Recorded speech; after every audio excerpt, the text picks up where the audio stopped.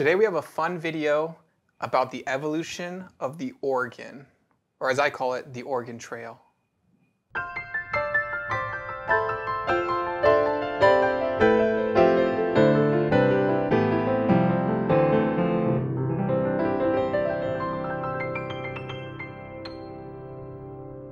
Hi, this is Ted with Alamo Music Center in downtown San Antonio, Texas. I'm Patrick Marr. You can find us online at alamomusic.com. If you haven't already, please subscribe to our YouTube channels, check out our other videos, sign up for notifications, like our videos, leave us comments. We appreciate your support. We love to interact with you. No piano fact today. Yeah, we, we- we have- organ fact. We have you an got organ a piano fact. fact? Well, it's it's Keyboard fact. what's int- yeah, what's interesting is you know when you think about organ, in my mind, I'm always like you know it's like the third setting on your digital on your digital piano. It's on your keyboard. It's on your digital piano. You click. You know, there's pianos, electric pianos, and there's organs, and there's a plethora of organs. What what comes to mind when when someone says that you know organ to me is like, is that rhythm and blues, jazz, or uh, chapel, church, or cathedral? Yeah, because they have all the different ones, the Yeah, settings. in Yeah, that's that's about it. There's five big organ sounds that, that, that you can get. And so today we are going to be talking about organs, but our piano fact, we like to start our, all our videos with a piano fact. Our piano fact for the day is when you switch to that organ setting on your keyboard, your keyboard is no longer a keyboard, it's a manual. And so when referring to an organ, if you've ever seen an organ before, um, there's sometimes one, one, you know, they call them manuals, but there's there's one bed of keys, um, somewhere between you know sometimes 40 notes all the way up to 60 notes, depending on the size. And then there's sometimes two. They're stacked on each other. Sometimes three. There can be a lot of different They- keys. They call them that on harpsichords too. Upper manual, lower manual. Think. and so uh, so the, the manual. Well, that's yeah, but it's funny you mentioned that on your digital piano when you pick that organ. The first thing that comes to mind for me is that there's no sustain pedal, so don't play the organ with the sustain pedal. Have you ever caught yourself doing that on a digital piano? I I have because that's kind of how you play the piano. But what makes that jazz rhythm and blues, that you know the the Hammond It's organ choppy. sound, is not having sustain. Yeah, it's uh, when So- you're playing it, the electricity is running through your fingers, and when you're not, it stops. It, it stops. So And- it's kind of interesting. And uh, you know, what's also cool is where your where your feet would be holding a pedal on an organ. A lot of times has another set, another manual, a foot manual, Right. um, and you're able to press the, the different keys, and it looks like a piano at your feet. They actually have stop buttons that they can kick with their feet. They go in and out, and you can change the sounds, the different bass sounds. And So we are talking about the history of the organ today. We thought it, if it's the third sound setting on a piano, on a lot of the pianos that we do, go and uh, and check out. We've done the electric pianos in oh, the we past. talked about Rhodes and clavinets and Wurlies to death. We And really so- don't talk much about organs. And so we actually found a really cool piece of artwork here at the store, and uh, it is called "The Evolution of the Organ." yeah, and it's a, what it looks like this. It was in a frame, and of all things, it was by um, uh, one of our repair techs in um, downstairs, and he actually has a B3 too. He's a great piano organ player too. And so the organ is one of the oldest instruments. It really is. It's been around. It- It's before Common Era. It's you know I saw anywhere from 200 to 300 years before Before- Common right. Era is when they is when they say that the pipe or uh, Okay. sorry the the uh, the pan flute right. Okay, yeah. So before we get into this, I do. This is what caused us to talk about the organ because in the past we had talked about pipe organs, and that gets into even battle history in Europe over over organs that weren't made to order or, or as as promised. But here's the deal. I found this downstairs, and it says the evolution of the organ, and it's really a great thing of marketing material, but it's also at the same time a piece of propaganda. And I thought this is biased. it's biased. So this is what, what we're going to do. We're going to start off exactly what, what you were saying. Pan pipes, the beginning of the organ. Mm-hmm. And so they come from shepherds that use pipes to try to entertain themselves, I guess, Well, to keep track of their sheep and And, stuff. and it's funny that it's it's ingrained in us as as humans because what do we do when we open up a bottle of something when you're a little kid? The first thing you're doing is blowing on it. You, you you've seen the tricks where you put different amounts of water in it and it changes the frequency.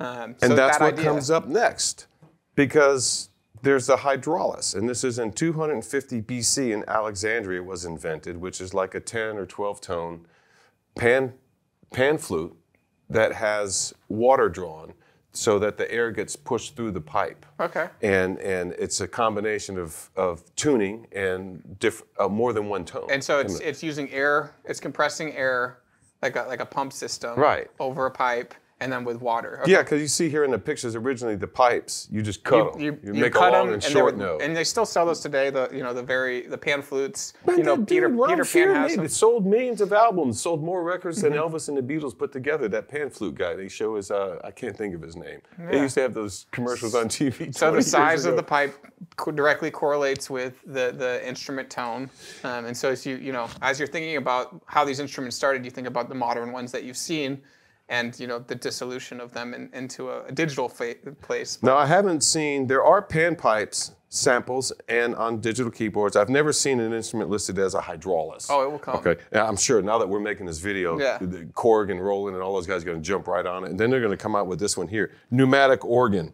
And what this one does is it has, you can see pipes, but instead of having the water, it's got like these, looks like little kids and teenagers pumping these uh, big bellows, jumping up and down on them. And this is like, Almost like an accordion, like a pump of air. yeah, it's like a giant uh, accordion bellows where they each have one take, you know, like kind of seesaw, and this is like up to around 395 AD is what So it these kids here. are running around everywhere, and they're like, "Hey, instead of jumping around over there, jump on this organ, this organ uh, pump." Yeah, and no, the next through." one is positive organ. They say that, and it, and it says it was developed with Grand Gothic organs because it was placed in a certain position on the floor table to be played, although it could be moved. But they don't actually tell you how it made it sound. Okay, but apparently you had to use levers. It didn't really have. There's no keyboard yet. So there's no keyboard. There's still. no And what year keyboard yet. This? This uh, this is in uh, 15th century. There's no We're in the real 1400s, keyboard yet. and there's no keyboard yet. Right now we get to the medieval cathedral organ, and they don't show us the the the, the keyboard. Uh, that I guess that one would have came before this one. This thing's not in order, I don't think, because it looks like it goes this way. But medieval cathedral organ has instead of two guys on this pneumatic organ, they got ten guys Pumping it. pumping it. And now this one here, I've seen and uh, before. This is called a portative organ, portable, Okay. and and it's like one of those where you would just pump it like this. So kind of back to the idea of carrying around a, uh, a pan flute. Right. It's It's, it's, kind of like a vertical pan flute with keys. okay, yeah. so this one has keys. so almost like a like a, a bagpipe a little bit. It, it is. It's kind of like You're pumping. yeah, yeah.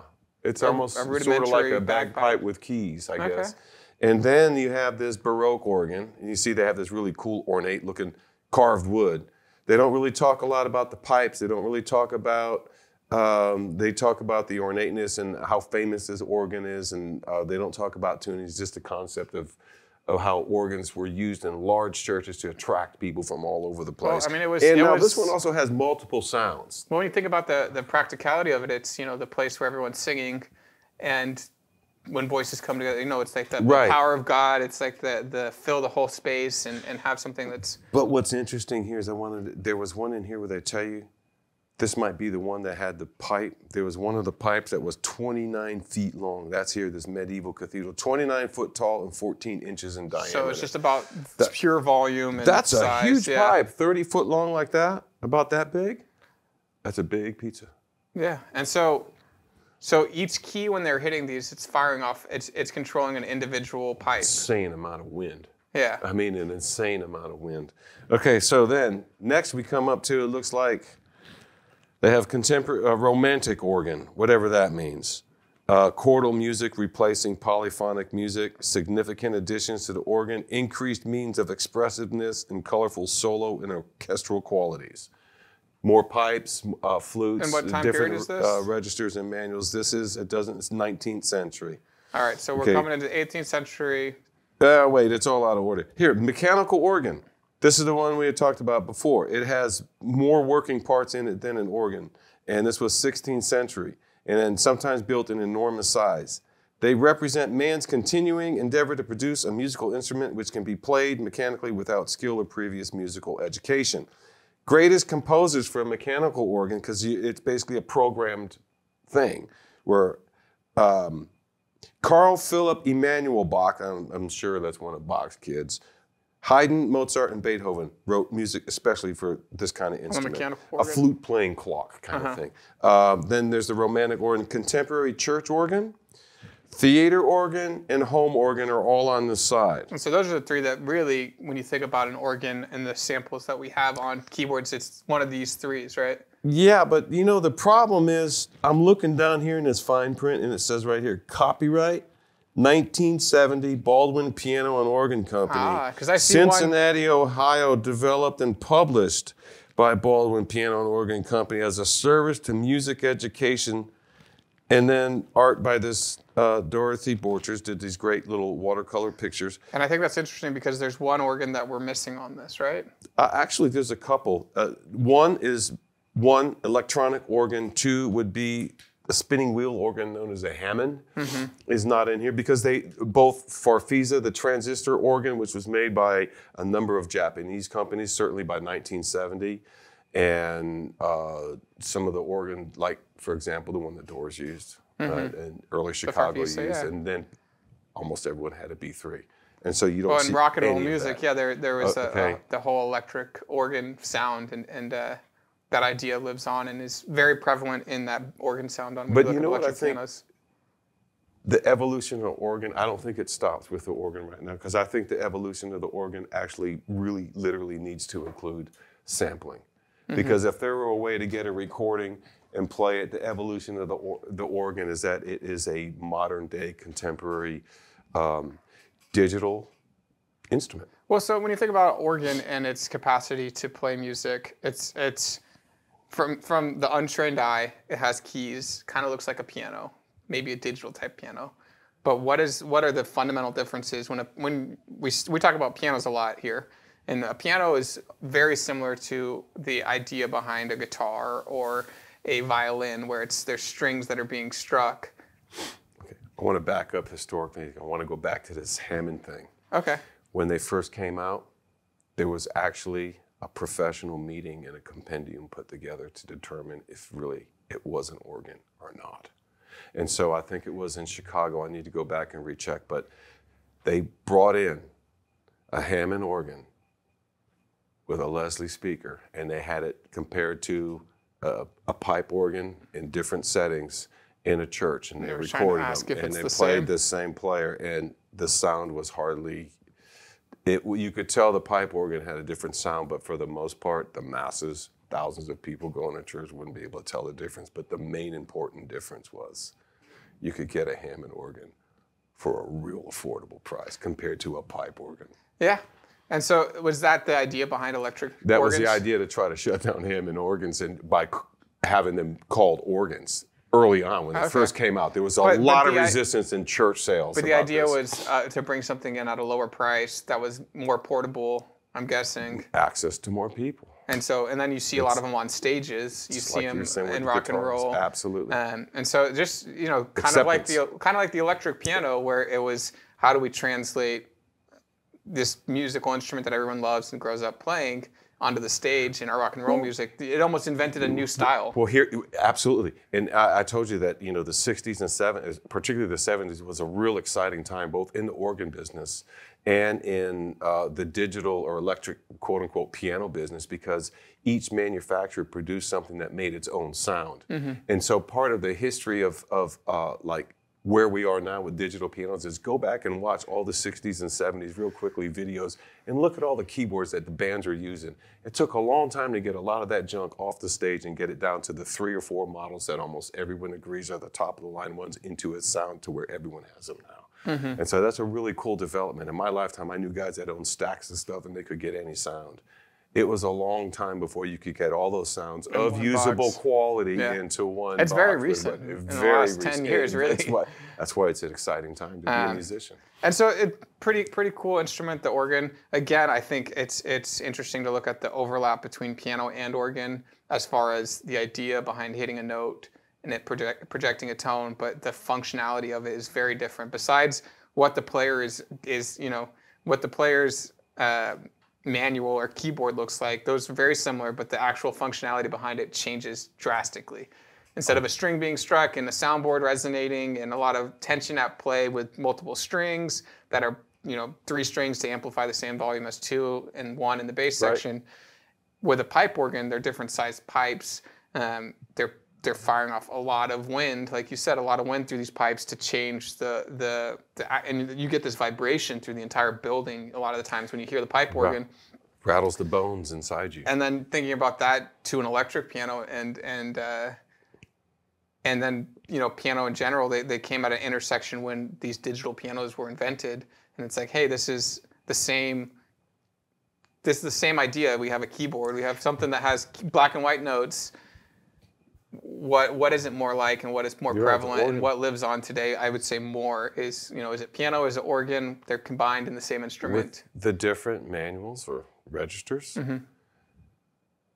By the mid to late 70s, most organ manufacturers had an option where you could get a synthesizer on top. oh yeah Okay, so there was different preset mood kind of things. that's interesting And, uh, because With, in one of the videos, I actually mentioned that the organ pushed so many different keyboard products and actually pushed the synthesizer into existence and pushed into all these organ sounds. Mm-hmm. well and and you think i've heard this before where the organ the in-home organ was it brought it brought church and it brought broadway to your home like a lot of people were able to create sounds and create full shows with just you know this thing click on the, the accompaniment Home track click on you know the the the drum sets click on all this stuff and then you're able to play with it and it reads kind of i'm hitting down a c it's playing you know a rudimentary c background and then you're able to play the melody. Um, and so it's it's just interesting that organ and electric piano and piano kind of intersected and kind of formed what you're talking about since digital pianos the idea behind making music fun. Well, what was Baldwin known for? The fun machine Ah, they're one of the top selling organs of all time. I'm not knocking them. I'm just saying this was a really unique thing because they put a lot of history on there.